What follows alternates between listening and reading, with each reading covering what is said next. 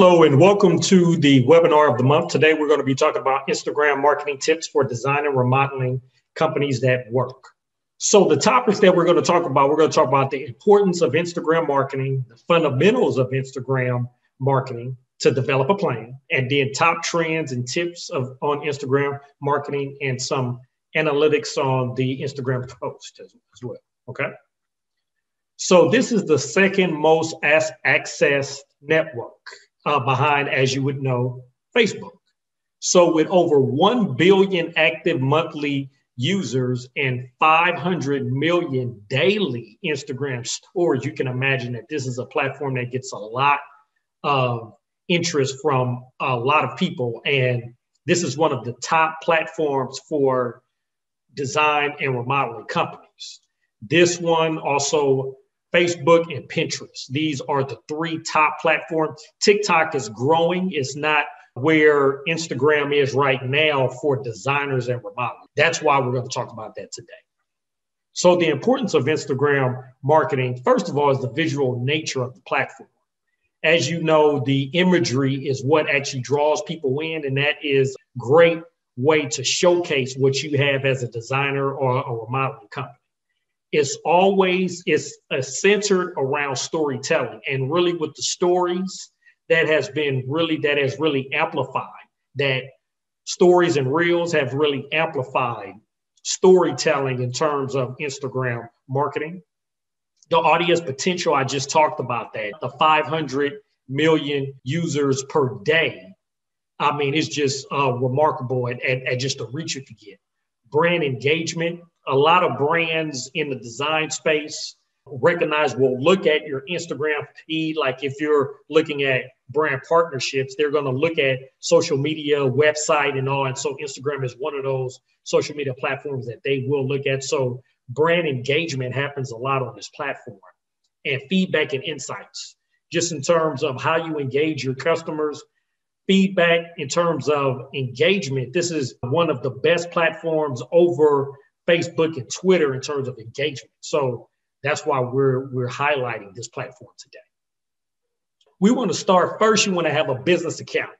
There may be questions about just having a personal account. That's great, but you want to have a business account because you have access to more features in terms of insights, ads, shopping. So Instagram shopping is great for designers to showcase a lot of the products that they have in their design. So you can be an affiliate for a lot of these as well. And so, but to do that, you have to have a business account. Separate the messaging. And in terms of call to action, you have more options with the contact information and the call to action when you have a business account. Okay. You want to optimize your profile. This is one of the first things we, when we take on a client, we ask, we ask, have they optimized their their profile, their social media profiles. A lot of the times they think they have, but they really haven't. So you want to make sure to fill out all of the information in your profile. So when you have you have 150 characters on your bio, use as much of that as you can. Say what you do, convey what your brand personality is, and tell people why they should follow your account over others and what type of information you're going to provide, and use that 150 characters as best as you can. You have 30 characters for this. Uh, your username also have 30 characters for that. You want to have a link to your website because a lot of the times you can't have links in the post, but you can always say link in my bio. And so that's where you can have the link to your website and you can change this out as often as you like. The category, what category are you in? The contact information, how do they find you? How do they find out who you are, what you do, and all that stuff. And then the call action button. Give Instagrammers a way to interact with you directly on your profile. So use all of this information, make sure your bio is complete as possible. Okay. Choose the right profile photo. So make sure that your photo is professional, it represents your brand correctly, and it's at the proper dimensions as well. If you just have a square photo, you may want to widen it out a little so you can see in this because you're going to have a circle. Now we're going to start about the trends. First, you want to define a distinct marketing strategy. So to be successful, you want to have a set purpose and goals and justify that and and how you want to accomplish that on this platform. So don't just hop on and say I'm gonna be on the platform, but why are you on the platform? What are you looking to accomplish? These are just some strategies that you can look at. Okay. Using your Instagram feed to post and sell your products to your customers, leveraging Instagram to share portfolio content, your projects, building brand awareness, sharing user generated content that increases your followers and that other real people can see what is your product or service and why they should look at what you have to offer. Okay. Those are just some of the strategies, but there are others. Determine your audience. Now, once you have the goal of why you're on the platform in the first place, next you want to determine who your audience is because like we like to say in, in the marketing world if you try to market to everyone you're actually marketing to no one so understand your audience and develop strategies that will target them directly. So if you don't have an idea of how to develop your audience here's some tips here. You want to consider factors like the age location gender income interests motivations and pain points. And then you want to look at you want to monitor hashtags of other designers, interesting hashtags of related businesses, either designers or manufacturers or companies that your audience is already follower of that brand to see what are they doing right, what are they posting about, what, what are they doing right, what are they doing wrong, so you can do it better. And so this leads into a, a competitor analysis. So you want to determine your Instagram audience. Once you have that audience determined, now you can start to look at the competitors to see what they're doing right and wrong and what you can amplify and alter and optimize in your own. If you already know who your top competitors are, start by reviewing their Instagram profiles. All right. If you do not know who, who they are, search for terms that are related to the industry in your category. It could be sustainability, it could be aging in place, it could be uh, designing for all, what, whatever that may be for your particular audience. Look at those terms to search for those and, and see who pulls up. Because you want to do a quick audit of their posts to see where they're having the most engagements, what are the hashtags that they're using, and that'll help you develop your own. So once you've audited all of your competitor profiles, now you can develop what is missing. And this right here is just a quick analysis. You can look at this and just by making a list, step one, and then building the profiles, building the competitor profiles, uncovering what the strategies are, and then you want to put that in action. So you want to understand what is happening with all of this. So what are they doing right? What are they doing wrong? And you you want to understand that so when you create your own profile, or even if you already have your own profile, you want to do this anyway because now you want to look at what are the competitors doing right that you can either optimize and do for yourself, or what are they not missing? Do a gap analysis and see what are the missing links that you're not providing, they're not providing that you may now be able to provide to increase your own follower count and engagement. Next, you want to develop an editorial calendar. So you want to create a calendar so A, you can save time and have everything where you need it. Because a lot of times I'm, I'm asked by designers what to post about, when to post, and we're going to talk about the when at the end. But you want to develop a calendar because that's going to help you organize your thoughts for the next week, for the next month. And after you've done that competitor analysis, you now have some hashtags, you now have topics that you can possibly post about. And you want to create events. You want to look at what's happening for that month. Are there any events happening in the design, remodeling industry that you may want to post about? Or are you attending any events that you may want to post about? You could develop that content calendar now so you could pre schedule the post and save yourself time. Because uh, a lot of the time, what a lot of our designers do is they will use a platform. There's a lot of platforms out there, Hootsuite, Zoho, and and others, but you can schedule a lot of the posts. And actually, you can do a lot of that within Instagram and Facebook as well. Pre plan everything for the month and then schedule it out. And then if there's anything happening real time, then they can move it around. But at least you have a plan for the month. And so HubSpot actually has a free calendar. You can head to HubSpot social media content calendar template, and it's a free template that they have that you can get access to. We also have one that we created for 2022, and it has topics around the design and remodeling industry. Just reach out to us. Send the email, our email info at Kitchen and Bath Marketing Solutions, and we'll let you have access to that calendar as well. But it just has topic ideas for each of the months in 2022 so you have an idea of what you may want to post about. Because like i said a lot of the times a uh, designers ask me what do i post about? So we actually developed a content calendar to help you with some topic ideas. But you want to also do that competitor analysis for the competitors in your space that are posting around the same type of things and have the audience the same type of audience that you want you want to see what they're posting about, where their engagement level is, so you can tie into that and see what they are doing that you may not be doing. Or if you're starting your, your Instagram account now, what you can uh, what you can actually post about. And like I said, with the gap analysis, you'll see where they're missing the mark, where you can add in. Next, you want to have consistency in the brand. Okay. One of the things that drive people crazy is that when they see your website and then they look at social media, it's hard to tell that it's consistent.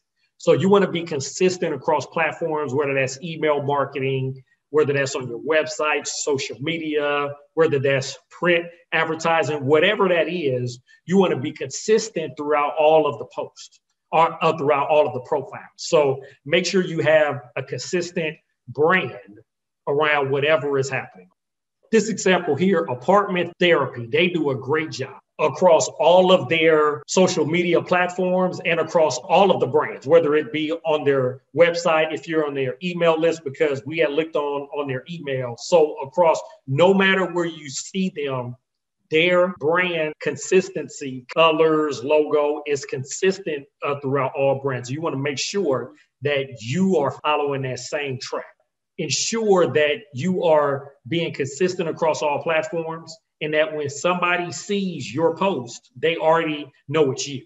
Or when they see an email from you, they already know it's you. Or when they look on, on your website, it ties into all the other platforms. So you have that consistency. And that helps increase followers because now they know any of the posts that you do are going to be of XYZ quality is going to be of this type and it's and they will come to expect that from you over and over and over again and that's how you build a consistent following what used to be done in the past that does not work now is buying followers. You do not want to buy followers. That will get you either either the followers disavowed from your account or in extreme cases it can also get your account banned. So instagram Facebook and other platforms, they now have tweaked their algorithm to look at what are real and fake followers. So make sure all of the followers in your profile are real. Do not buy any because now there are algorithms out there finding which ones are real, which ones are fake, and deleting the fake ones. And in extreme cases, your account can get banned. These are some ways that you can get real following the right way. Make sure that your name, username is searchable, recognizable, and searchable. Like I said from the start, fill out your profile completely. Recognizable hashtags in there that are recognized in your area of expertise, whether that be sustainability, aging in place, whatever that may be for you. You want to use those relevant hashtags in your posts you want to have those keywords in the description in your profile so they're easy to search, easy to find. And so that's how you get found. You want to optimize your profile. Like I said, optimize your profile, optimize your posts. If you have a new profile, so if you're watching this or if you're in this webinar right now and you haven't done Instagram before and this is new for you, before you really start to engage and go after followers, make sure you have 15 high quality posts before you really start to engage with people. Because if you start the account and it's empty and you start to look at other posts, follow other posts, engage on other posts, what happened is that if they come back to your Instagram profile and it's empty, they may not follow you because they don't see anything relevant for them. Make sure you have 15 high quality posts at least that you can relate to your audience with the followers that you're trying to uh, create and have them follow you. You have posts that are relevant for them. So when they come to your account, when they come to your profile, they see it and they say, okay, this is interesting to me. I want to actually follow what they're doing as well. And then you want to you want to be social. Remember, Instagram is a social media platform. So you want to follow other accounts. You want to look at other accounts. You want to comment on other accounts because if you do that for others, if they come back to your profile and see your post, they may likely and will most likely do that for you. Don't just post, post, post and not engage on other profiles because you're not being social. Remember, this is a social media platform and you want to be social. And in turn, you'll get that happening to you as well. So now, how do you convert these followers into leads? Once you have a follower account, now you want to start to use strategies that'll convert them into paying clients. All right. There are a number of ways. We have a few here. Start with promotions. You could do discounts that uh, engage your audience and have them interested. You can do contests. That's a great way to get uh, the followers to engage with you if your audience is of the millennial type, over 81% like companies that are active in charities, some type of charity. Whatever charities that you like or are active with, you may want to have uh, a promotion or a post on that if your audience is of the millennial category because they're highly into what's happening. How active are you with charities? Also, you can have teasers, you can have live launches, doing stories and doing highlights of that. Great way to get followers and have them engaged. Omni-channel promotion. So that's talking about other platforms, whether that be other social media platforms, your website, email newsletter. You want to have a way for them to share and follow you on those other platforms. So you want to have buttons that they can click and then share and follow you on their Instagram account. Content dynamics. So here, what we're looking at is the visual medium. You want to ensure that visually you're getting across to your audience what represents your brand. And Instagram is a visual platform, like we had talked about at the start. Tips here you can have behind the scene posts, give your followers a look at your audience, a look at your storefront or processes. Give them a look behind the scenes because that is what differentiates you from other designers. Give quotes on any text-based images. So any images that that are just only just the image, make sure it's visually appealing and have some text in there or something that livens it up because video is by far where it's at. And we're going to talk, you know, a little bit about video here. But if you just have an image, you want to somehow liven it up and have it tie into your brand as well.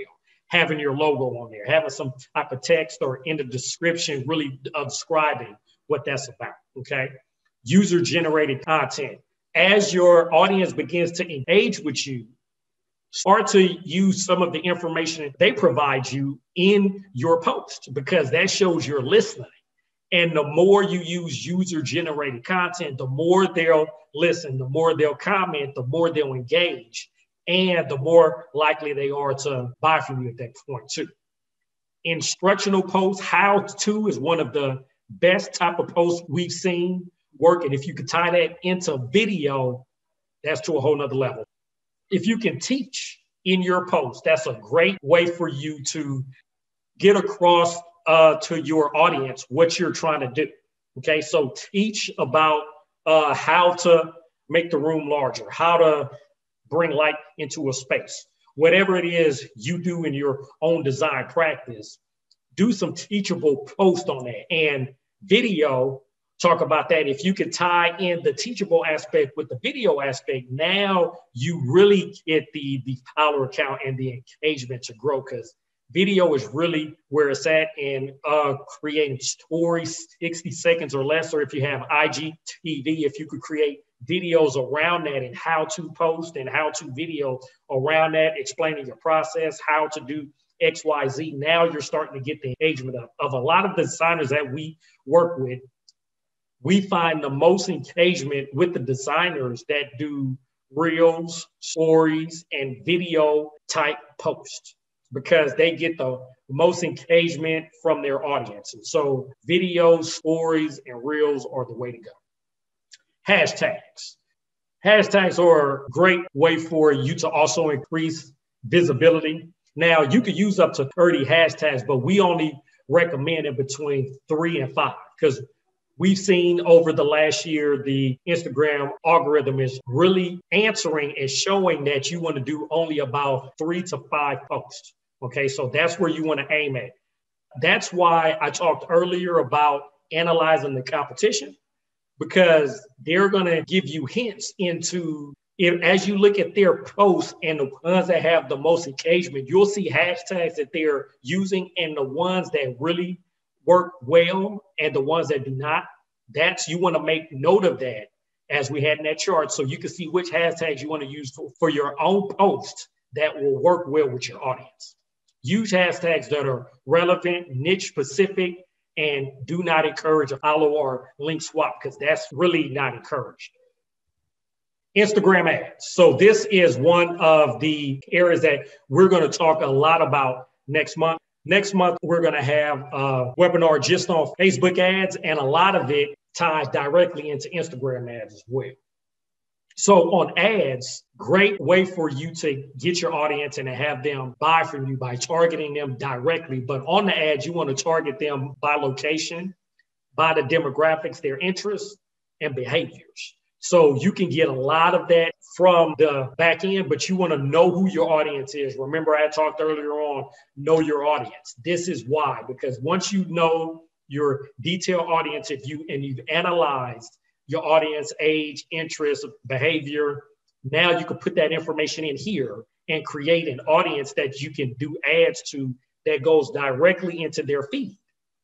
This is, there's a lot behind ads, and I'm not going to spend a whole lot of time here because, like I said, next month, August 31st, is going to be all about Facebook ads, do's and don'ts. We're going to talk about how to create the ads, how to be effective in the ads. And a lot of the information we talk about, the Facebook ads, apply directly to Instagram ads too, because you can do, when you do a Facebook ad, it automatically clicks to do an Instagram ad. So everything I, I talk about next month is relevant for Instagram ads as well.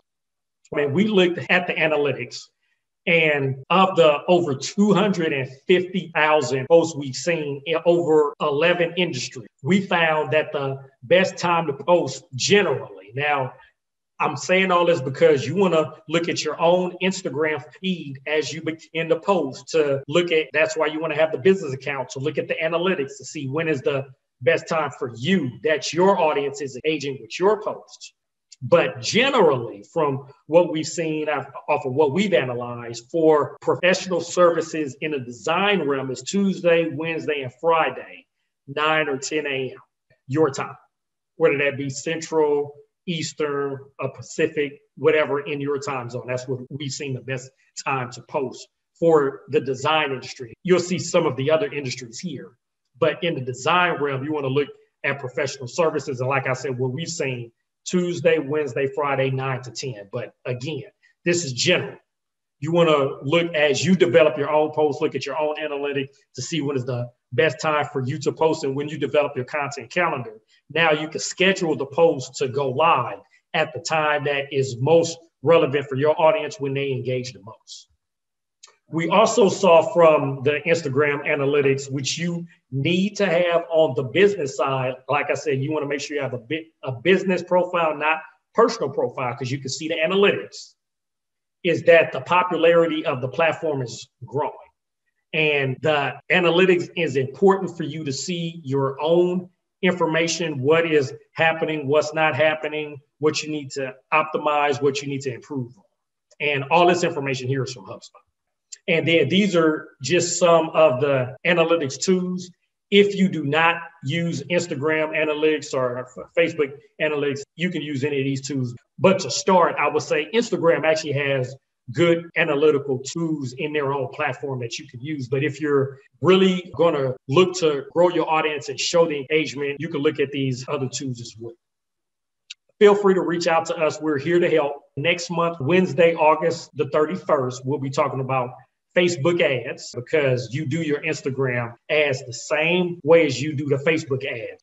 Have a great rest of your week, and we hope to see you all next month at our webinar of the month. All right. Have a good day.